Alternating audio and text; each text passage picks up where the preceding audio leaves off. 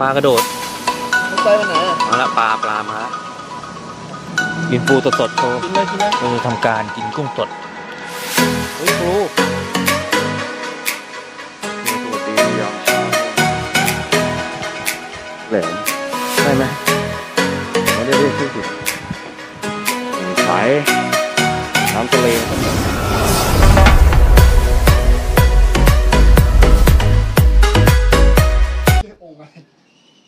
นี้เราก็ได้มาถึงที่อะไรวะเนี่ย ลืมชื่อแล้ว เราได้ดูที่พักมาตั้งแต่ในช่วงที่ยังไม่ก่อนเที่ยงเลยแล้วก็จะมาถึง โอ้โหฝนกระหน่ำอย่าลืมไดนะครับ มันไอ้นี่ไงเอามาเป่าโทรศัพท์นิดนึงเสื้อผ้าด้วยโอ้ยดู ห้องนะ โอเคเราก็มารีวิวห้องพักกันครับ โดยที่ใครเปิดทีวี เราใช้เรนส์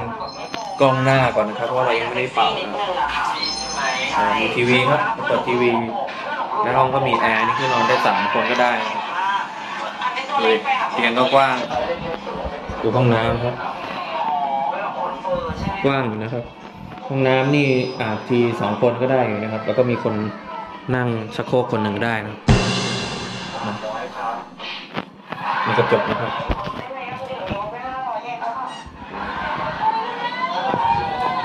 จ้าเป็นจะชาร์จแบตโทรศัพท์ก่อนเดี๋ยวแบตโทรศัพท์มดเดี๋ยวเราก็ว่างครับสำหรับอาหารในค่ำคืนนี้เข้ามาต่ออีกครั้งนะครับผมนัด Explorer นะครับวันนี้เราอยู่ที่ค่ำคืนหาดเจ้าหลาว จังหวัดจันทบุรีครับ ซึ่งเป็นหาดเจ้าหลาวนี่คือเขาบอกว่าเป็นหาดที่คนรู้จักมากที่สุดในจันทบุรีแหละนะผมก็ไม่รู้ว่าหาดอื่นเขาเล่นน้ำกันบ้างหรือเปล่าแต่หาดเจ้าหลาวเนี่ยคือกว้างสุดแล้วก็เป็นหาดแบบที่คนเล่นน้ำมันเยอะสุดอะไรประมาณนี้แต่ผมก็ชอบหาดอื่นนะแต่หาดเจ้าหลาวก็ดีเหมือนกันก็ทรายก็ขาวสวยอะไรก็ว่าแต่ตามกันไปนะแต่จันทบุรีนี่จริงๆแล้วไม่ใช่เมืองท่องเที่ยวที่เรามาเล่นลงเล่นน้ำอะไรมากมายเท่าไหร่นะครับเพราะว่าเป็น อนกับเป็นเมืองรองนะครับ ก็เป็นสถานที่ที่มีป่าเยอะกว่าทะเลนะผมผมคิดว่าอย่างนั้นนะแล้วก็ส่วนมากจะเป็นการประมงนะที่ขึ้นชื่อก็เป็นอ่าปลาหมึกเนี่ยขึ้นชื่อของจันทบุรีนะตกมงตกหมึกเนี่ยผมก็เห็นมาเขามาตกกันตอนนี้ผมก็กำลังไป หาที่กินข้าวนะครับ แต่ว่าเดี๋ยวเราจะขับไปที่หาดเจ้าหลาวให้ดูบรรยากาศว่า ชายหาดในยามค่ำคืนแบบนี้มันจะมีอะไรบ้าง แล้วมันเป็นบรรยากาศมันเป็นแบบไหนนะครับสำหรับคนที่ไม่ได้มาเที่ยวทะเลเป็นเวลานาน แล้วหรือว่ายังไม่เคยเห็นบรรยากาศแบบนี้นะครับ ก็สามารถเข้ามารับชมกันได้นะครับ ก็เป็นบรรยากาศที่ไม่พลุกพล่านนะครับ เพราะว่าคือตอนนี้มันมืดแล้วไงและวันที่ถ่ายนี่ก็เป็นวันเสาร์นะพรุ่งนี้ถึงจะเป็นวันอาทิตย์ ก็ดูบรรยากาศครับร้านอาหารก็เยอะอยู่นะครับที่พักที่พักเยอะอยู่นะหาเจ้าหลาวนี่ที่พักเยอะเลย ก็ใครคิดว่าที่พักราคาแพงไม่แพงเลยนะครับ ราคามีหลายระดับผมตั้งแต่หลักร้อยแบบอ่าสองร้อยสามร้อยสี่ร้อยห้าร้อยหกร้อยเจ็ดร้อยแปดร้อยหนึ่งพันอะไรเงี้ยมันก็มีครับขึ้นอยู่กับเกรดของโรงแรมไปด้วยแล้วก็การ service ของโรงแรมครับว่าบรรยากาศหรือการบริการนี่จะเป็นแบบไหน ชงอาหารเช้าอะไรไหมเดี๋ยวนนี้เดี๋ยวเราก็ on the way ครับ เพราะว่า เราได้ทำการซ่อมกล้องหน้ามือถือแล้วนะไปเดี๋ยวไปดูดีกว่า ว่าบรรยากาศของค่ำคืนนี้จะเป็นแบบไหนตอนนี้เราก็มาอยู่ที่หาดเจ้าหลาวในยามค่ำคืนนะครับ เราจะมาหาอะไรกินหรือไง เบี้ยวไปน้ำแข็งกันเปล่า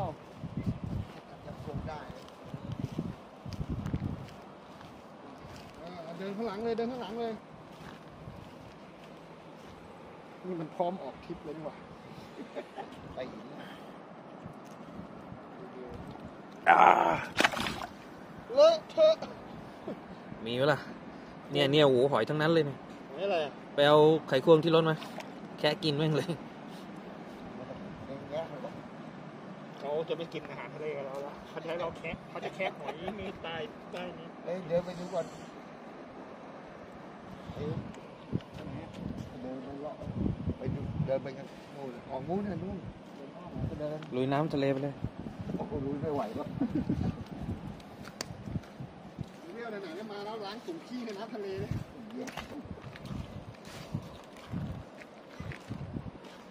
ดูนี่ดูนี่นี่นี่นี่ ยิกยิกอยู่ที่เนี้ยเออเออปูหลมป่ะโอ้ลมใช่ป่ะไม่ใช่ลมเออลมปูหลมป่ะไปไหนอะนี่ไงลงไปแล้วเอากิน กินสด กินสดเอาถุงมาใส่ป่ะเนี่ย ดูต้องปลาผดอยู่นู่นก็เจอหอยไอ้แมลงกระพรุนเฮ้ยไอ้เฮ้ยอุ้ยปูเพียบเลยอะโอ้โคตรเยอะอื้อหือตัวใหญ่ว่ะใหญ่จนเด็กออกโอ้โหนี่มันตามอยู่นู่นกินสดได้ไหมอะปูมาล้างก่อนเฮ้ยกุ้งเพียบเลยอะโอ้โหเอาเอาปู มาปล่อยอะ กินไป แล้วกุ้งอะ เราจะทำการจับกุ้ง ไม่ได้ครับผม ไม่ได้ก็ช้อนมาด้วย จับกุ้งได้ไหมอะได้แล้ว กินสดใหญ่เล็กนี่นี่เฮ้ยเฮ้ยเฮ้ย เฮ้ยจะหล่นแล้ว เนี่ย กุ้งทะเลของแท้เนี่ย กุ้งลายเสือวะเนี่ย เราจะอ้าวจะกินสดหน่อย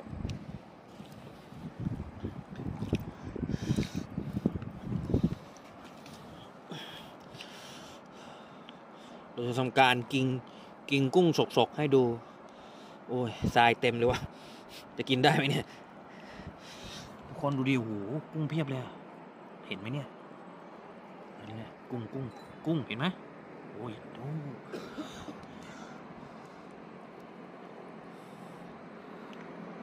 นี่คือกุ้งนะครับ เราจะทำการกินกุ้งสดโอ้โหยังหวานเนี่ยแอะแอะอะไรเค็ม กุ้ง กุ้งเพียบเลยมันเค็มปากว่ะ ไม่พกน้ำมากินด้วยเทรคสองแอคชั่นอ่า กินกุ้งสดเข้าไป เค็มปาก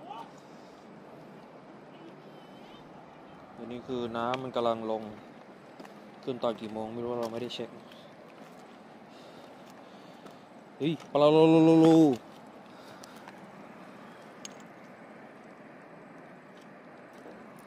โอ้ยโอ้ยโอ้ยโอ้ยปูครับ ตัวเริ่มเลยปู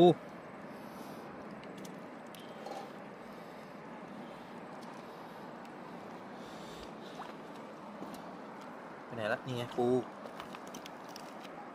เข้าลุกไปแล้ว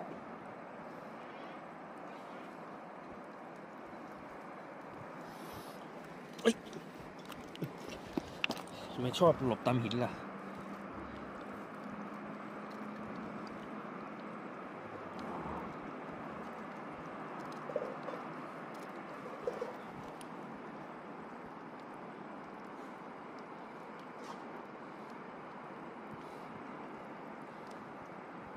นี่มันถือว่าเป็นขบนะ เฮ้ยปูมีขนด้วยที่ขามัน อะ กินสดดิ โอ้นี่ปูไทยใส่กระเป๋ากางเกงเฮ้ไหยมอันนี้ตัวอะไรเนี่ย ไดโนเสาร์ เดี๋ยวรถแบคโฮอะปล่อยแล้วไม่ลงอะอะปล่อยแล้วก็ไม่ลง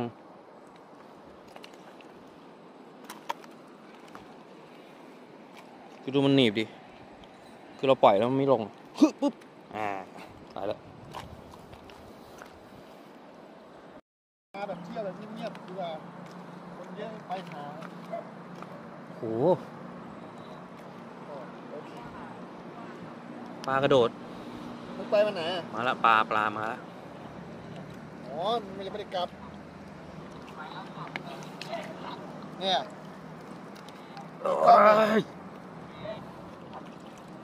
อ๋อ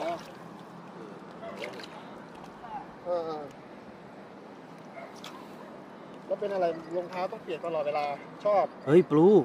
วันหลังจะได้พามาลุยฝนตลอดจับได้แล้วครับจับได้แล้วครับ ปูต้องเบี้ยวเดินหาอะไรเนี่ยกูไม่รู้มึงก็เดินหาหอบกินปูสดโชว์นะกินปูสดสดๆโชว์กินเลยกินเลยเอาเลยเอาเลยพี่น้องขอกินปูไทยป่ะยังไม่หายเค็มอยู่เลย เนี่ยจับเอาไปเดี๋ยวไปเผานี่เราเดินมาอีกประมาณเบรินให้ ดี๋ยวดึกๆเดี๋ยวมันจะขึ้น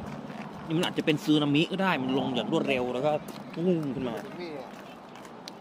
รองเท้าวิ่งไม่ตีแตกมีจะโดนหินแล้วพวกนี้บาดนะนี่ผมเบื่อบอกว่าไม่รู้คมไม่คมก็วิ่งกันทำซึนามิมาเรื่องเดินอะผมคมผมขี้กูไม่สนแล้วกูวิ่งโอ้มัวมากกล้อง เราก็ได้มาลองสำรวจชายหาดเจ้าหลาวนะ ตอนนี้ก็มีกุ้งมีปู และมีหอยปลาก็มี คนด้วย เราไม่ได้เปิดระบบการสั่นนะ เพราะว่า เพราะว่าอะไรก็ช่างมันมีมีหอยฝาเดียวครับความจริงมันคือหอยตลับนะครับคนดูนี่ดิจะให้ดูอะไรให้ดูอะไรอะนี่ปลาพุ่งออกไปแล้ว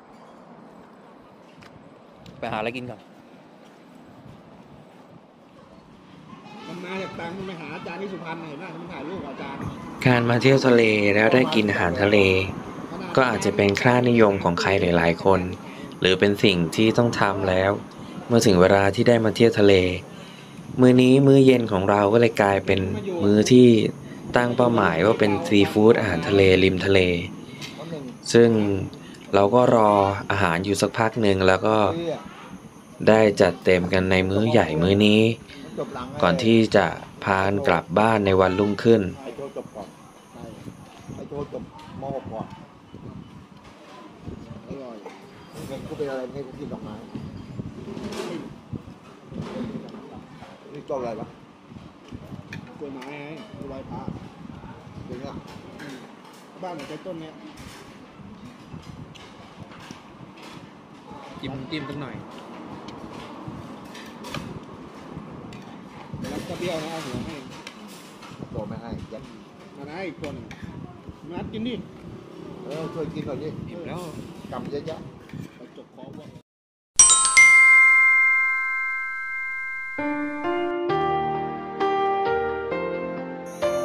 แต่ถ้าคลิปเราถ่ายแต่กลางคืน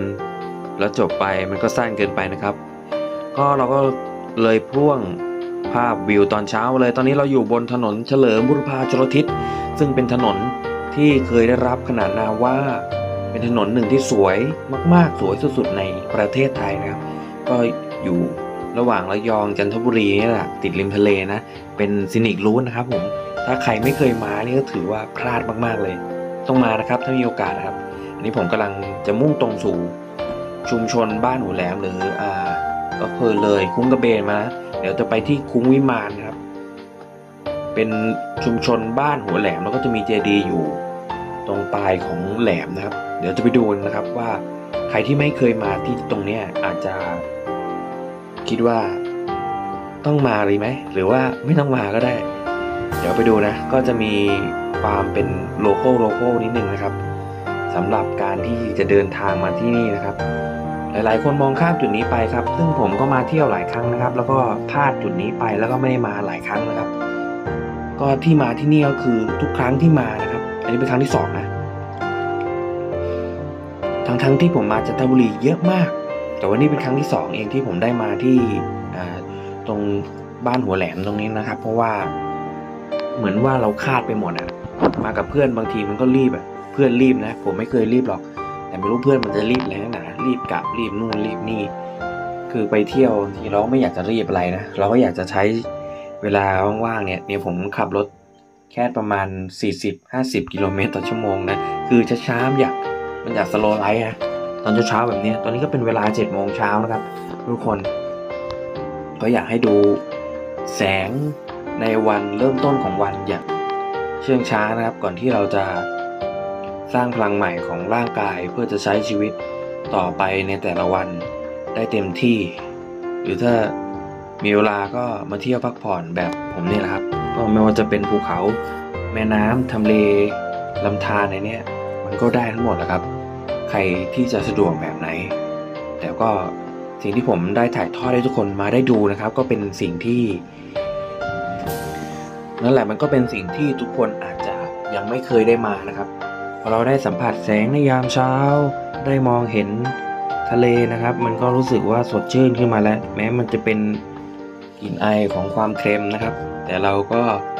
สัมผัสได้ถึงความผ่อนคลายในทะเล ยิ่งจะเป็นฤดูหนาวเงี้ยทะเลสวยมากๆนะ ไม่ต่างจากาที่เราไปเที่ยวภูเขาในหน้าหนาวเลย ก็อย่าพลาดนะครับ ทะเลหน้าหนาว ถ้าทุกคนมีเวลามา ก็มากันได้เลย เดี๋ยวจะไปดูนะครับว่า จุดนี้จะสวยงามแค่ไหน และคุ้มค่าต่อการมา อันนี้ไม่ใช่นะครับ เลี้ยวขวาไปนี่คือเมื่อกี้ก็จะเป็นขึ้นไปจุดชมวิวเนินนางพญานะครับ เราต้องเลี้ยวตรงนี้นะครับนะผมจะเลยทุกครั้งเลยเห็นไหมเนี่ยแหละหมู่บ้านชุมชนบ้านหัวแหลมนะครับผมเดี๋ยวผมจะขึ้นประวัติคร่าวๆนะครับว่าตรงนี้มันจะเป็นยังไงนะ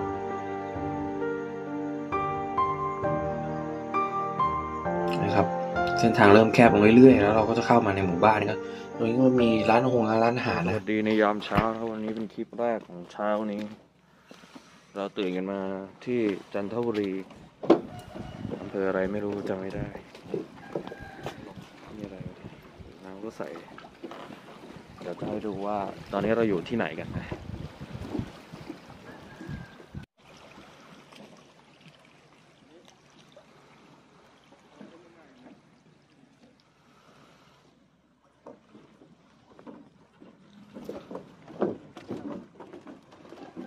ร้านไหนแม่เป็นร้านนั้นเลยเฮ้ยก๋วยเตี๋ยวนี่เปิดยังไม่รู้อะ ก็ อย่างที่เห็นตอนนี้เราอยู่ที่เจดีบ้านหัวแหลม ใช่ไหม ผมไม่ได้เรียกชื่อผิด ทุกคนดูดิน้ำอย่างใส แต่นี้ยังไม่ไปเป็นชายหาดนะ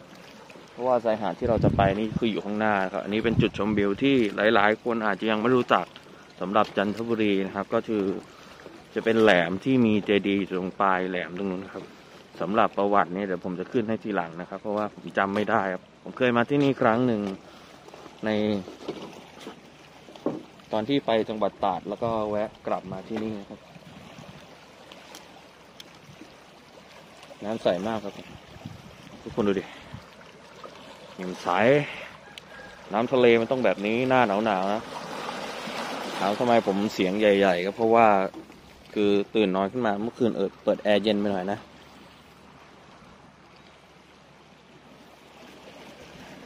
ดูดิ โอ้หินสอยเลยเพื่อน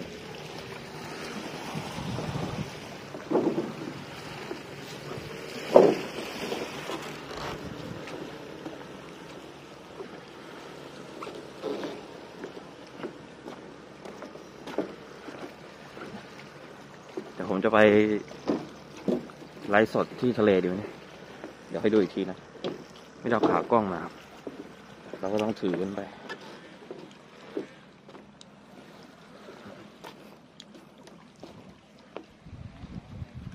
เดี๋ยวเรามาดูตรงนี้กันนะวันนี้ผมถ่ายแป๊บเดียวเพราะว่าไม่มีอะไรระยะทางที่ไปไกลยาวมาก ก็มีการมาโหตั้งแบบสการะพ่อปู่ฤาษีแล้วก็มีพญานาคด้วยเหรอ สาธุสาธุ เราควรจะสาธุไหม ก็คือเจดีย์ก็อยู่ข้างหน้านู่นนะครับ ตั้งตังงานไว้เป็นจุดเด่นไม่ให้เรือมาชน แล้วบรรยากาศรอบๆ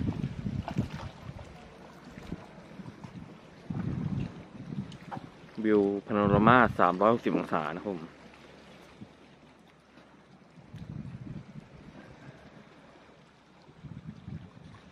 ฉายพระอาทิตย์อะ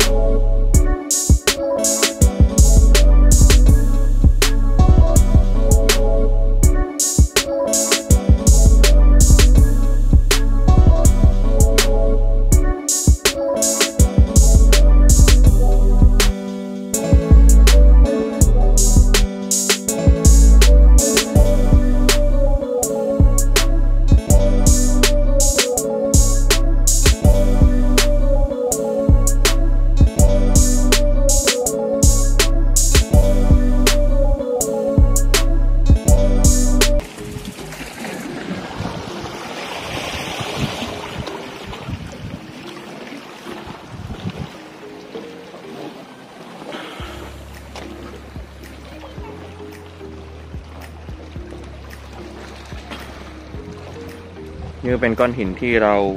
แบบมันมาถึงตัวเราที่เราเดินไปได้เลยนะแต่ไม่เป็นไรเดี๋ยวเรายังไม่เดินไปในก้อนหินอีกครั้งหนึง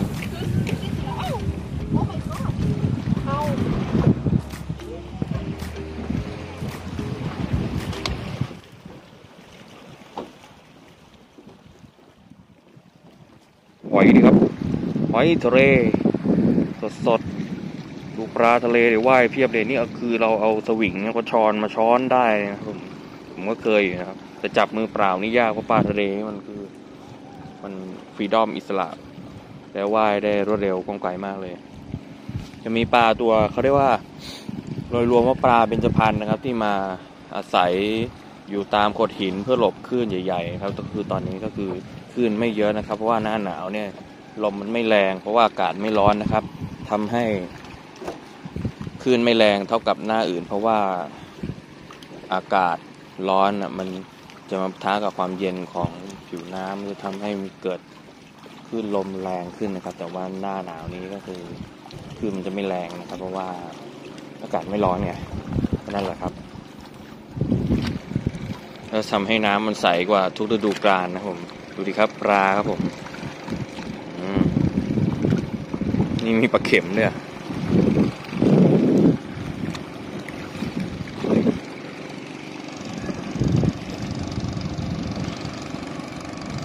เรือจะมาปะทะกันแล้วครับ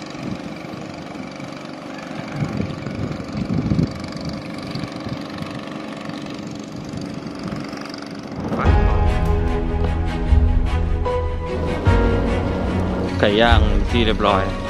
ไปเลยพระเจ้าตามเรามาแล้ว นี่อะไร โอ้อ่าเป็นไงครับทุกคน น้ำทะเลโคตรใส